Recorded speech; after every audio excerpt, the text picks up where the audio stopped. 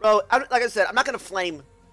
I'm not gonna flame Cloud Nine, dude. Uh, I don't know what all the analysts were like talking about because like I like on that little podcast thing I did with Dom, Jankos, and Sneaky. They all picked C9. I was like, dude, bro, I I'm did what? Like they they did they went two and four in the group stage. They won a tiebreaker, whatever, bro. Uh, they went two and four in the group stage.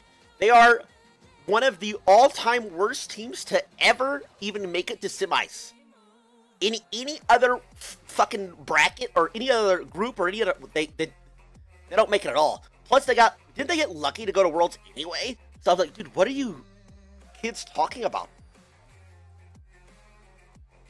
Like, bro, Fluke Nine fluked their way to to quarters. We're like, what? Like, and they're like, well, C9's gonna win. Holy shit!